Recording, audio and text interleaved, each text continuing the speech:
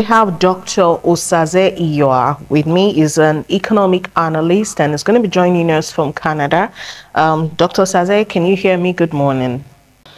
What are some of the immediate economic impacts of protest on local businesses and um, communities? Yeah, um, as we have been told several times that um, protest is a legal is a legal right of every citizen. We know it's enshrined in the UN Charter, even in our constitution. Every citizen has a right to agitate or request for um, issues that they consider as um, as critical to their well-being. And of course, uh, we know these issues have not been, they just did not start today. There were protests in the last administration. In fact, we've been having protests right from several administrations, from Jonathan's administration, the Millennium Park protest to um, Buhari's EndSARS, and um, this. So it's something that you cannot avoid yeah, even in developed countries, so it's not something of it that's peculiar to the third world nations. Even in developed countries, I know France had been protesting for for close to hundred days. Um, the same thing in Taiwan. So in Bangladesh, they've been having protests. So it, it's something that's that's common to humanity. So I, I, there's really nothing wrong with it, but just that sometimes protests now take takes um another dimension. You know, when you now have the the violent part of it. As they've always said, the police is supposed to protect protesters, but most times when you now have the violent side of it, that's when it becomes inimical to um, general economic growth and um, and welfare.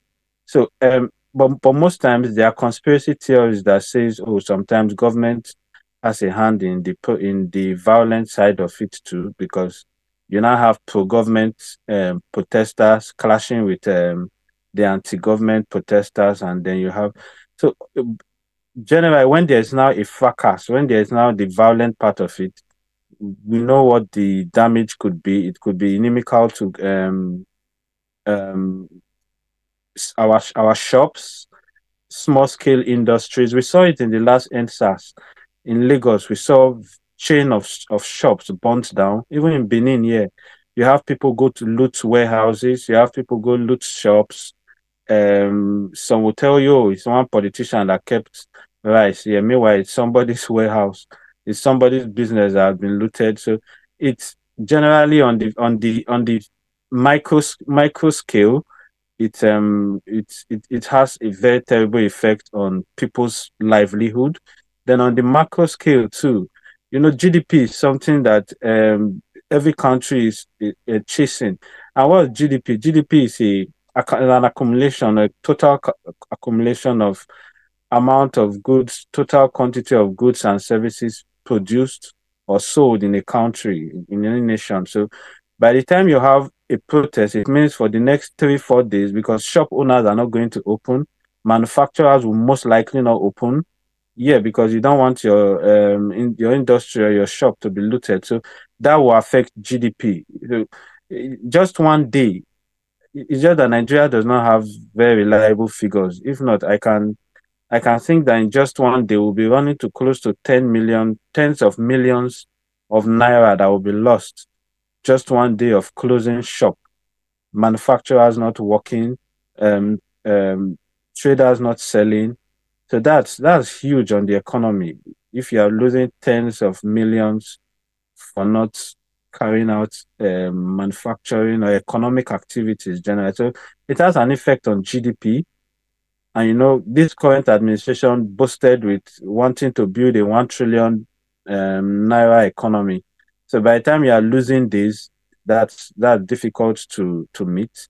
Then on the micro scale, as I said, it has an effect on people's life. There are some people that they have to go out every day before they make they get money to take care of their family. So it means when you close down the literally close down the economic space for a full day, then it, it also affects on the micro. So the the effects are uh, uh, uh, anti-economic to in search of a um, better word. Yeah. policymakers can do to minimize this economic fallout of protest? What can they do? Oh, of course. Uh, so that's why we've always said that there should be an, an immediate response. You know, in fact, I know in the last two weeks, government has been sending, um, they've been trying to talk to traditional rulers, they've been talking to governors, they've been talking to various um, economic agents and people of, um, of, of regard and, and position in the economy to try to talk to the youth. But I thought they could have spent most of those efforts trying to bring, yeah, okay, we could say the there was some reaction. At the minimum wage was passed within a day or so. Um, yeah, some some colorful moves here and there, but I think the major aspect of the protest was something that um, that could have. I, I, think it was all around wasteful spending. That's what the youth. That's what the general request was. The general everything centered around wasteful spending. The the aircraft, the yacht, the SUVs. Those were the demands, very very clearly stated, and so on. The the, the large scale, the, the large cabinets and and all the plenty um, portfolios that comes along with, with it. So it wouldn't have taken 24 hours to make a statement and say, oh, this is our blueprint. Moving forward, we intend to. What happened to the Oronsaye report? Yeah, so these are these are steps that government could have just made within um, within 24 hours. So I, I think government. I, I, I don't think government does not know what to do. Hmm.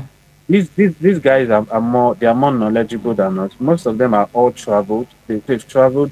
Most of them schooled abroad our current president schooled abroad. So most of them they travel, they know what what what they, they what they are supposed to do. So it's I think it's a it's a clash between knowing what to do and the will to do it. So of course it, it's a very straightforward answer to your question. Uh-huh. Government should immediately should should listen to the um, agitation of the youths and make very very bold statements instead of just scratching the surface, going around with um, statements that are quite that, that, that don't seem to answer the questions that the youth are asking for. Okay, now at least the end bad governance protest struck the end um, hunger protest has been put on hold for the now. Roads are clear, there are soldiers everywhere from Benin. Uh, I can tell you that. But um, I need to know because it seemed like every time there's a protest, it always tilts towards a riot. Shops are boggled. Even in the UK, I was watching the news on the BBC this morning and I saw they've had two protests back to back and people were looting. So, but what can we do? What strategies can be employed to reduce the risk of property damage and um, vandalism during protests? We have to secure our businesses though Of course, yes. Just like you said, it's it's almost like a general um, pattern, even in developed nations. It usually comes with because because the, the point is if there's anger, the whole the whole the whole motivation for carrying out a protest is anger. So um, most times protesters fail or think that the way to pass their message is it's just like what they say about in, in the local parlance that um, you know, is the troublesome child that most times you want to answer very quickly. Most times when you are trying to, you, you know your children, there are there, there are some that you like that you are like, oh, um, he will understand. Let's let's carry his food and give somebody else. But there's the there's the troublesome one that I say, no, we don't want it wahala.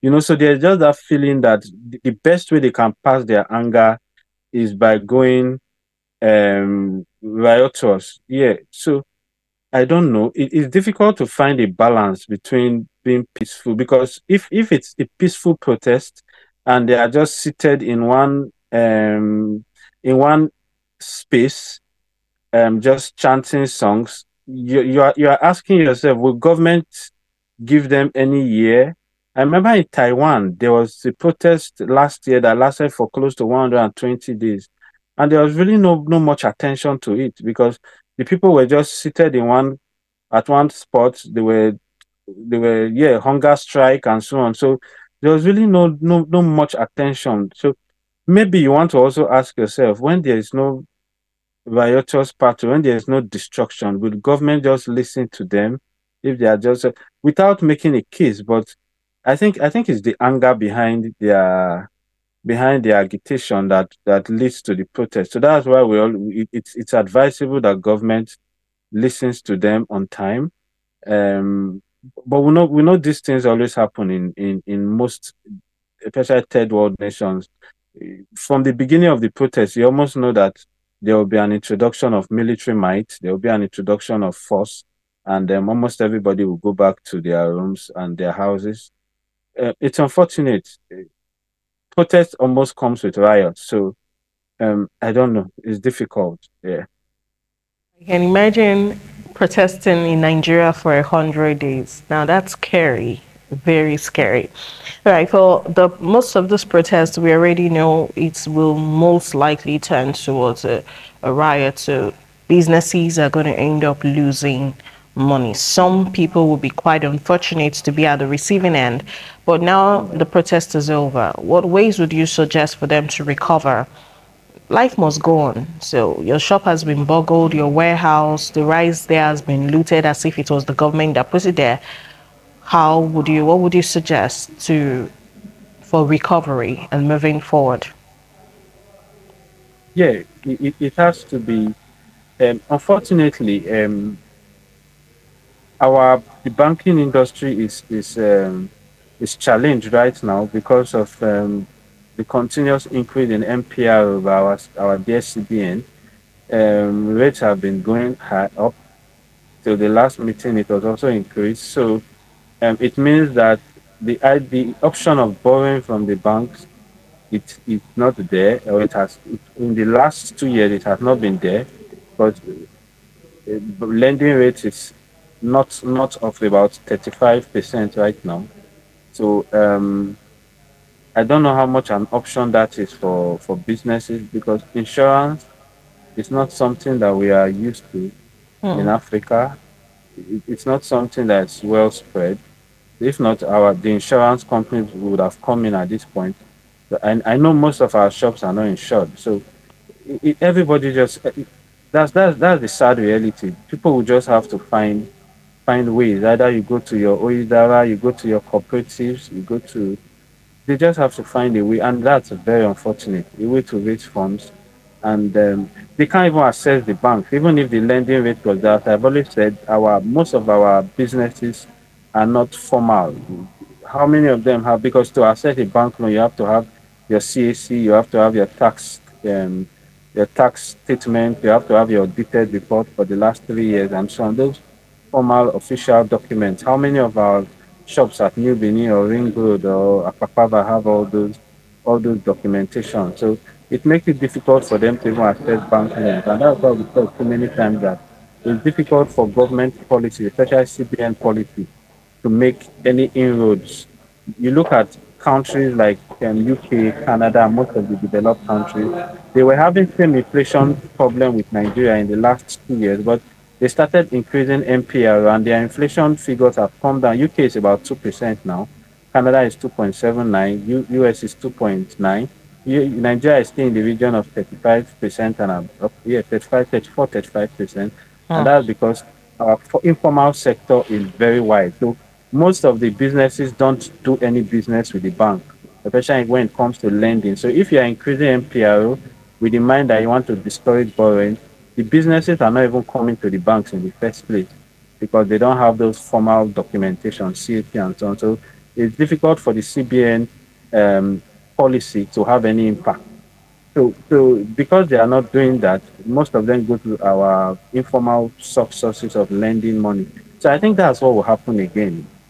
Mm, they, they will just have to find an, an alternative to, to surviving, but it's very it's very pathetic. Yeah, it's something imagine. that should have not happened in the first place. Okay, now let's talk a little bit about the protest has been suspended, which is good. Shops are gradually opening. We all can move freely, but I have a strong feeling this is going to be for a very short while. From the speech of the president, Nigerian youths are not very satisfied. Hence, the reason why I feel if we're not careful, within the next couple of days, we'll be back to the streets and these shops will still be at risk. Lives will still be at risk. What are the economic implications of having repeated protests in short successions? Yeah, I, yeah, I know, I know. Yeah, probably by when when soldiers get well, the military, the the yeah, get out of the streets, you might have a reawakening of the um, protest, but I, I, I really doubt it because uh, we always knew that most times when they bring force into it, I don't know, nobody wants to lose lo- lose their lives. So I don't know if there will be real there will be re- re- reoccurrence of the protest, but just as as you asked the question, if it comes up again, um, shops will also be at risk. And again, there's really no because the shops are are, are, are, first line. They are the first to, to, to face the, the, the battle line. These politicians who you are who who, the, who we the youths are have a problem with, they they are out of our reach. You, you can't they are well protected. How do you how do you get get to meet them?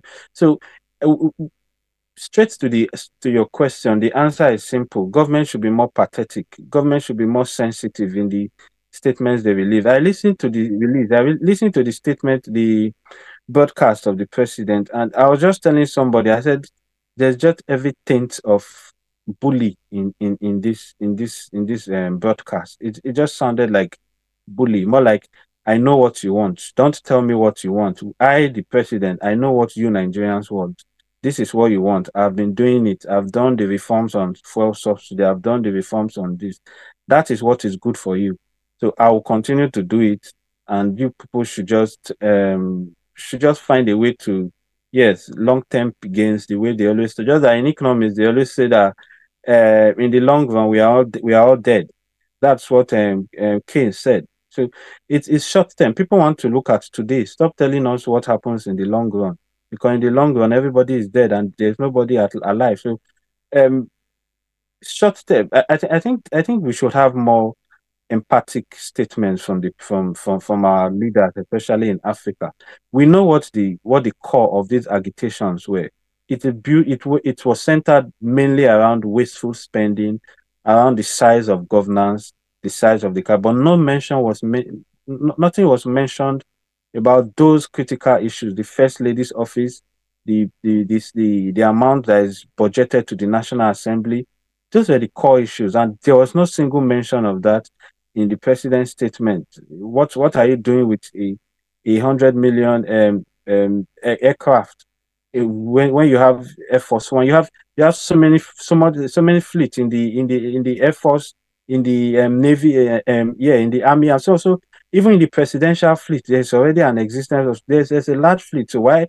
So and no mention was made about it. So I, I I don't know. I don't know if there will be an end to protest. Yeah, because it's it's reciprocal. It's when when when you, when you feel that your government has empathy, is sensitive, has struck the right notes in you, then it's easy for you to buy in. But from the statement of the president, I couldn't see empathy. I couldn't see sensitivity in it. I didn't see he didn't address the core issue. So it's unfortunate. Business also would continue to be at risk.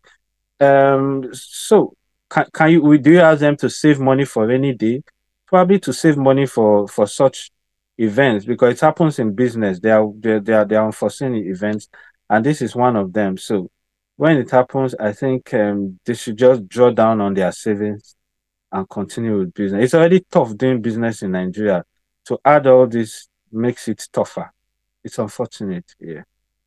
During our conversation earlier, you made mention of um, data to um, calculate how much we've lost in the process, but we don't really have reliable data. Mm-hmm. But what ways would you suggest for us to calculate accurately, um, let's say, the economic impacts of protests, we need to have it measured, quantified, so that because we like we like figures. Maybe when we're talking in the future, we can say during the EndSARS protest, we lost this, this, this, this, this, according to so, so, so, so, so, so, it's reliable.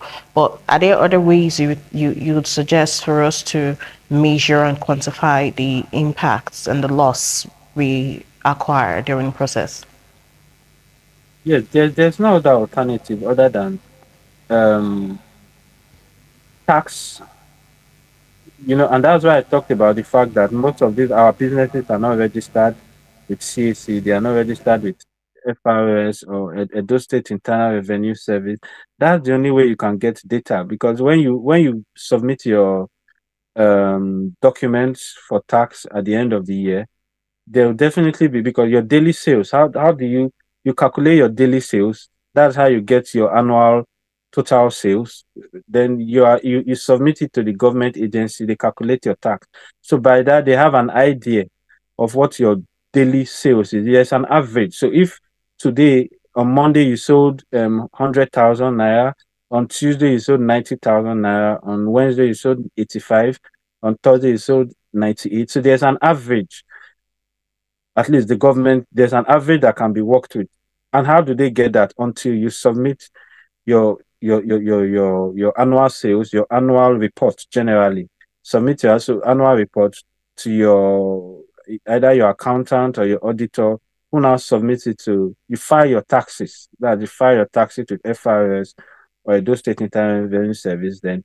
So that's why that's why that's why there's a formal sector that I was talking about.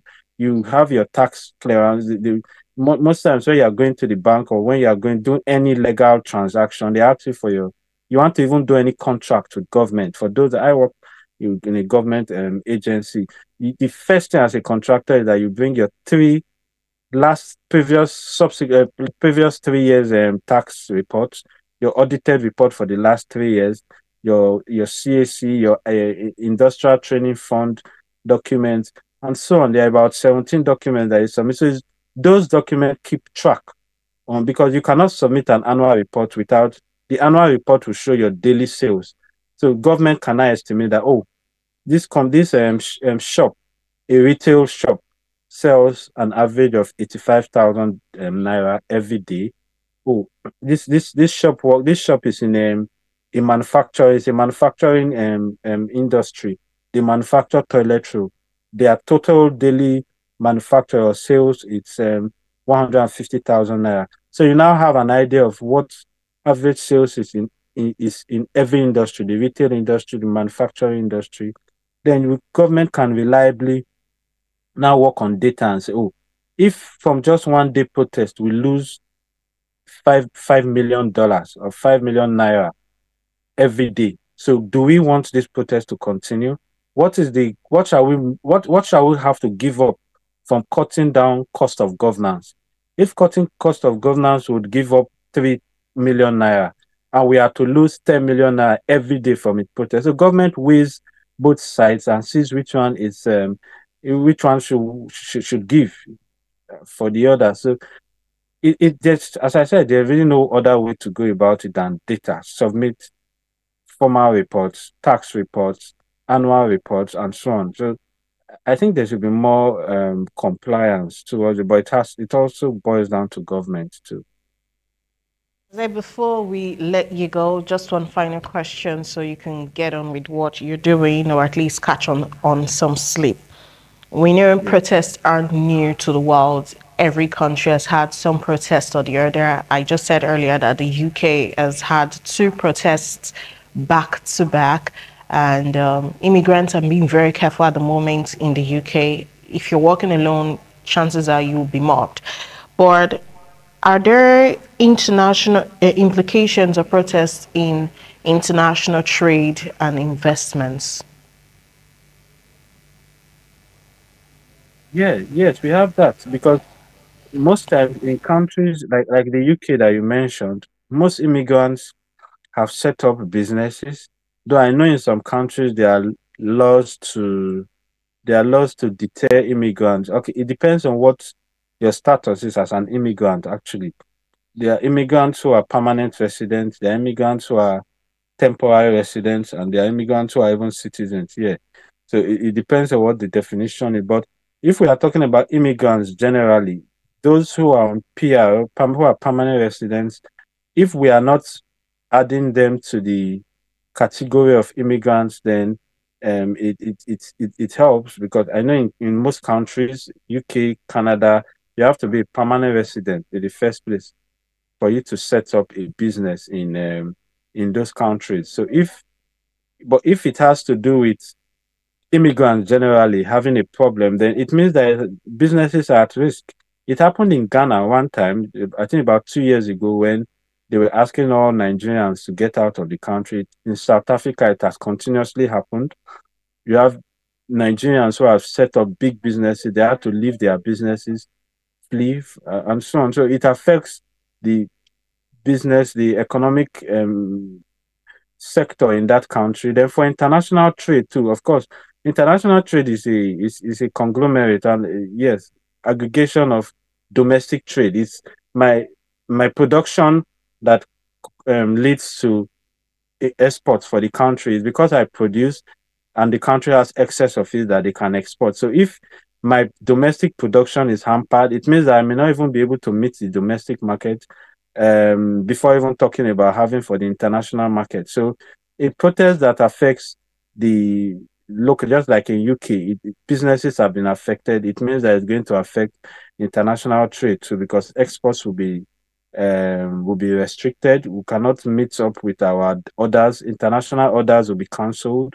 So it would affect almost. It's it's the, the world is global now. So any um, happening in the domestic um, sector definitely affects the international. So it has implications on international trade too, simply because my domestic production is what results to exports. So if domestic production is hampered, then exports definitely will be hampered. Then you'd have um, um, orders that from China, for example, China has a an order with on UK to produce some um, vaccines, for example, and they are not able to produce those vaccines, it means that international orders will be cancelled. It's going to be, it's a plethora of issues. So it has very significant impact on international trade. Much, Dr. Osaze. I really do appreciate your time with us this morning. So we're going to conclude our discussion segment. It's obvious that we are losing a whole lot, even though we don't have the statistics to show it, but you can use your tongue to count your teeth. Imagine the shop you shut down for a couple of days and how much you should have sold, but you had to let that go because it wasn't safe to have it opened or even your shop that was buggled. So it's it's a whole lot of losses and we're hoping the government can be proactive instead of reactive. So there was ample time for government to wade into this conversation while the protest was proposed without even waiting for it to start up before saying we should put it on a, a pause. Thank you, Dr. Saze. I wish you a good night and uh, we'll talk some other time. Thank you. Have a good day. Good morning.